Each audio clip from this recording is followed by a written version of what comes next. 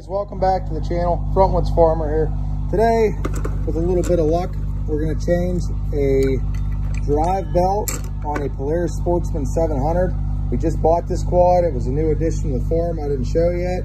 We were kind of driving it around and uh, heard some rapping. We thought it was the motor.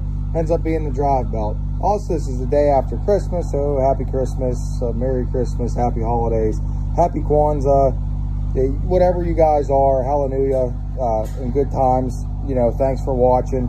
If you're not subscribed to the channel, you like repair videos, homesteading, blacksmithing, anything fun like that, hit the subscribe.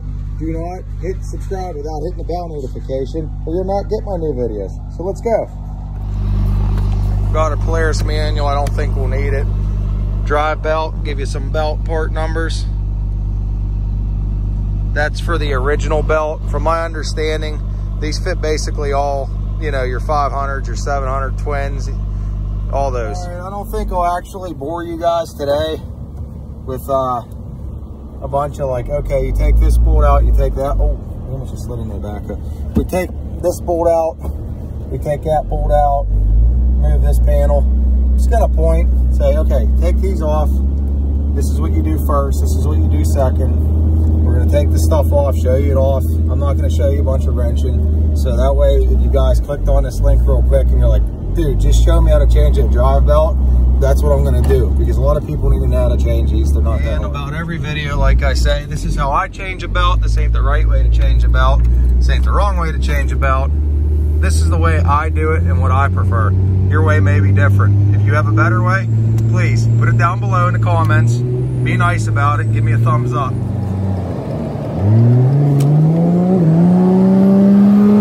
So these are about the tools you need. If I can remember from my O2 that I had, I don't think we needed much more than that. This is a lot easier than you guys will think. This one I think's about an 05, just from the decals, the headlight, a couple of little other things that I noticed on it. It's a pretty nice quad for $1,100. You can't beat it. First thing you're going to want to do, move this seat. There's a handle in the back. You lift that up. Set the seat somewhere where you're not going to get it all ripped up or anything. Pull these plastics off. Watch when it's cold. They can't crack. They should just slide out. Just don't force them like that. Okay, you don't want to bust any of these tabs up here. There's all these tabs. I always take the back out first. We're going to start off by uh, loosening this breather here, this breather hose. Uh, we're going to end up putting this foot foot plate. We're going to take that off. Might have to remove partial of the rear fender, but this case this case covers what we're going to want to get off. We got those hose clamps loosened, partially off. I wanted to show you this size underneath for where your footrest is. Take these off. This is a 11 millimeter. So if you're doing it in the woods, yours could be different. So don't don't quote me on that. So we're gonna get those loosened up and try to get this footrest out of the way. And we're gonna start taking all these bolts around this uh, cover off right now. Last tip. All these Phillips heads on top that you have to hold while you put your 11 millimeter on the bottom and loosen, they're all just gonna turn. So what I do? Is I get it started with the Phillips head. See how it's all rusted out? It should give you just enough to get it going. Then you can push up on your ratchet and leave a little bit of head space and then get your vice grips put on your phillips head. I'll show you how. Like this and you could hold that while you loosen. you got these one two three four 11 millimeter bolt set uh, what you can do i got these fender flares on i'm going to try to just pull this out enough to slip that out of there it's better to have more room but it's probably about 20 degrees not even out uh, and then we're gonna start taking, these are all 10 millimeter bolts. We're gonna go around and take those out and slip that cover So off. we were able to wiggle that cover off.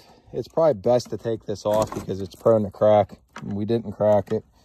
There's fragments of the belt. All we're gonna do is I'm gonna have my dad film. We're just gonna just take this off like a bicycle chain. Start going off the sprocket and put the new one on. All right, so my dad had a better idea.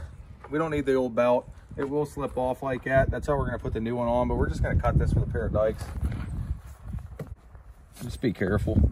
It's a good time now to inspect all your bearings, your clutch. This belt is a little tough. Still wire in there, so let me get this off and then we'll get back to you.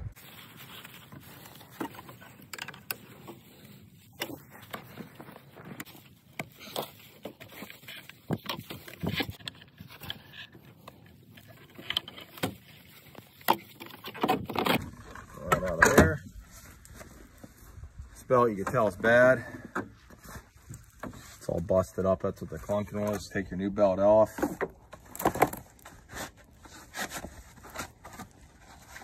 I showed you guys the part number. Let's compare it, make sure it's the same belt. Uh, goes up to about there. So yeah, looks like it's the same to me. Started on this one here. Hose clamp out of there. Walk this belt on. Just like a bike chain.